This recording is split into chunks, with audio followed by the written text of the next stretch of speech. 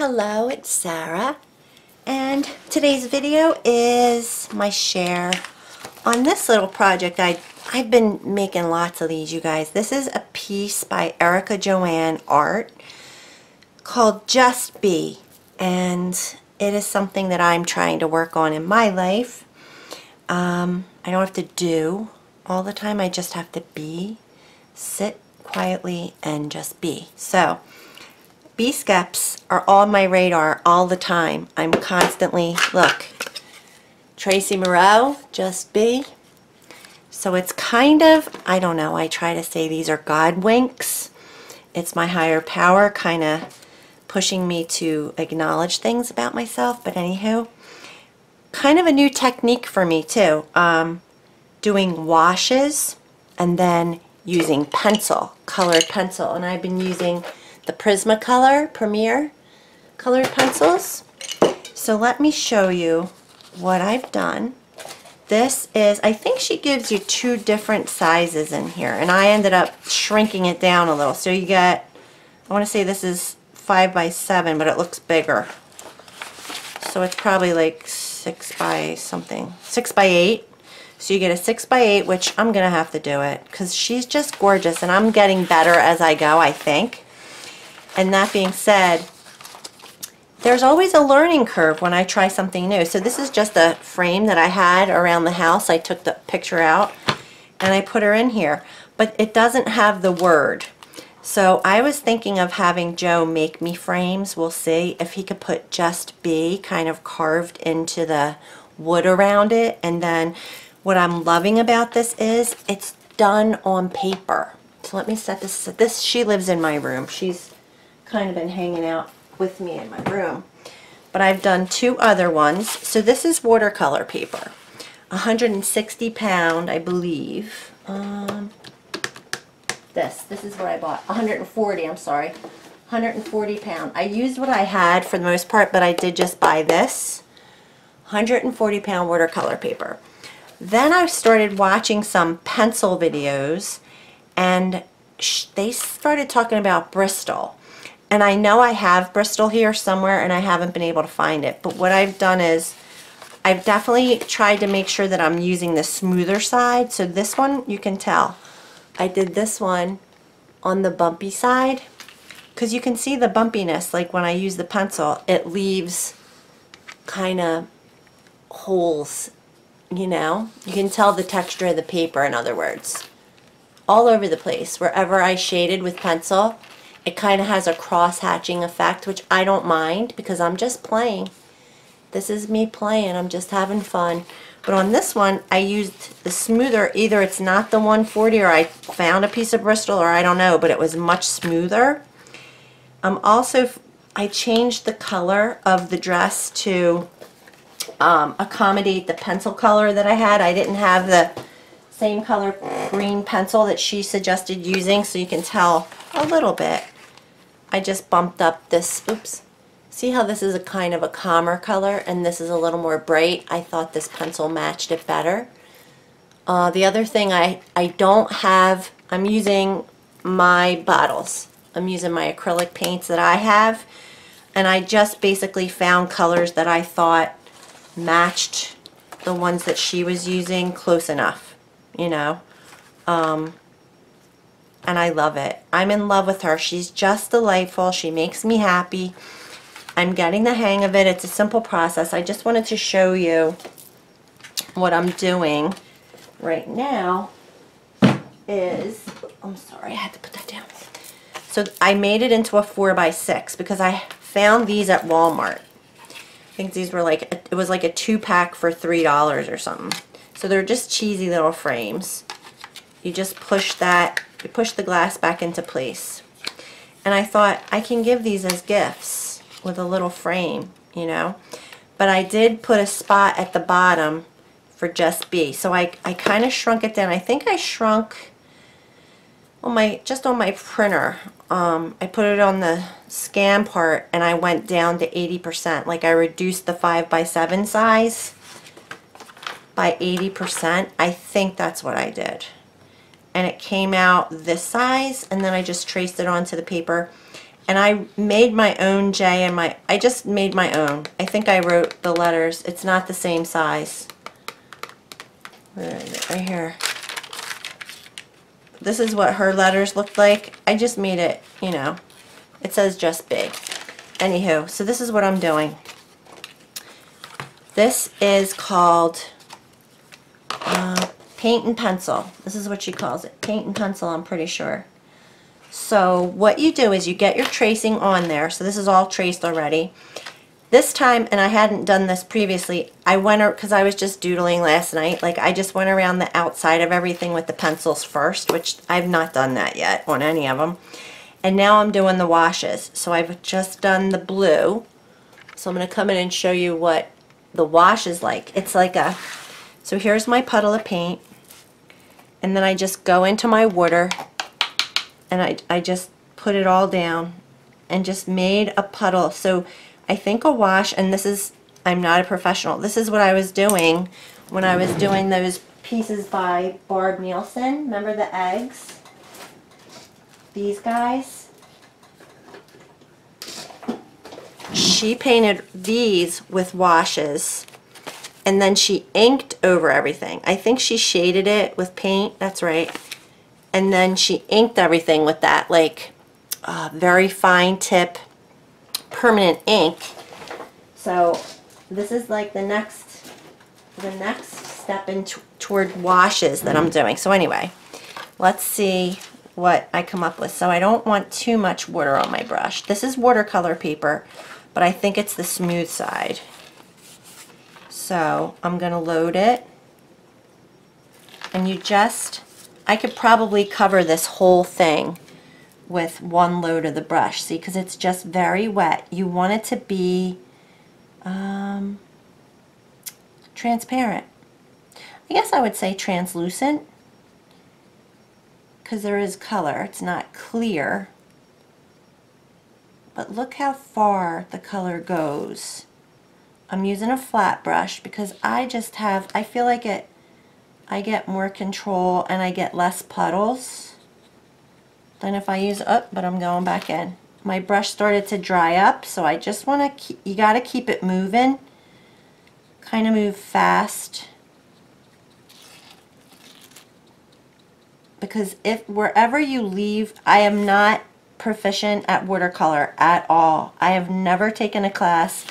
It's a mystery to me because I I'd like to find a class or a teacher that could explain it to me. I'm a very visual learner. And, um, sorry, my voice, as soon as I start doing this, I start to get zen. I get so peaceful. So there it is. It's just a light coverage, like, you know, translucent coverage. And you do all the shading with the pencils. So I'll show you that. I'm just going to do this green while I have it because it's really just a couple leaves and the dress and I think that's it. That's why I like this piece too. It only has like five colors to it. Um, Alright, so what I'm going to show you how I've been doing the pencil. Now, I watched a few videos. I did do the, the videos by Erika Joanne with these patterns. Remember, I think this might have been in one of my last videos that I did. These pinwheel block. This is a pinwheel block. The strawberry block. And then there's a bee. The bee block. There's going to be nine, I think. Maybe 12. I forget. Oh, gosh. I'm so sorry. I'm, I always forget that I'm zoomed in. So there is some instruction, but there's no like real instruction other than what she tells you in the written directions. I like to see someone doing it. Um, anyway, I'm just winging it, really, is what I'm doing. I want to see if they're both the same. Yeah, True Blue. Um, I got a new sharpener. This is an awesome sharpener. Gerlin, Gerlin, Gerlin with an arrow down. Amazon, but watch. It's really good. Anywho, what I've seen is you when you start, you want to hold the pencil back far so you're not putting a lot of pressure so that you keep your, because you can, you can always build up the color, build up the strength of the color. You can't really get it off, which I've been erasing it and it's been working. Like, I think I did her face shading way too dark and I erased it. I was able to erase it and it looks fine. So I've been playing, that's what I'm really doing is just I keep repeating the same thing but I'm playing with it. So let me just start here. It's hard. I, I need to choke up on the pencil a little. But I'm just going to start just gently. You want to flick outward. I push a little harder toward the where our ponytail begins. Let me come in. You can't even tell that probably. Uh, you can see it a little from far away. But like, she has these really dark, like on the tips, and then she'll add black or brown to your shading too. But I, I am really barely pressing right now. And this is the lightest that I've been because depending on my mood, you know, I'm very forceful, you know. So I'm being very conscious. I'm literally just barely touching. But it's fun. Look, it's shaded. I mean, you can't really see it that much. I'm being so gentle right now. So I'm keeping it very close to the top. Then I'll start flicking downward.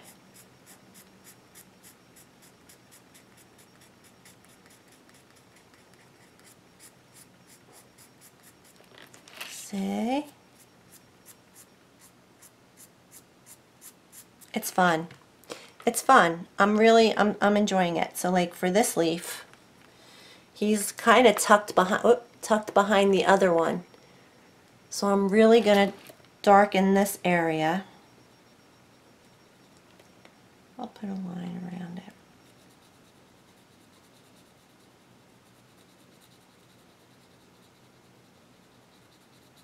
Because it would be dark, it would be shadow, you know. Babe, I'm filming. I mean, that looks good. And then it would be in here. Definitely because this is like tucked behind too. It's always darkest in those areas. And then you just lighten up as you go out. And this has been literally like over the last week I've been making these. I have the one in the frame, two, three, four. This is my fourth one. They all look different. Like look, they're not perfect. But I think the color, her choice of colors just makes me really happy. So that's why I just keep doing it. Um, but like, look at her hair. I don't know. I mean, it looks shaded. But this one's looking really good compared to those. So I'm just, I'm, I think I'm getting better, you know. I'm learning how far to take it out, like really how far do I need to have shading. I don't even think she has it on her piece, look. Like she gives you a little direction where to shade. There's like a shaded, a shading guide. I'll show you. It's right here. You get the shading guide, which is amazing. Thank you, Erika Joanne. So see, she doesn't really have it around the flower, so I kind of did that myself. And this is what I mean by erasing. I just take this eraser, which is like a Mono Zero Elastomer Eraser by Tombow. And I'll just try to erase this a little. It erases. It kind of blends too. I don't know. Like, I'm just getting used to it. So yeah, so here's like she has you, th this is like her part, I think. So I've been trying to like,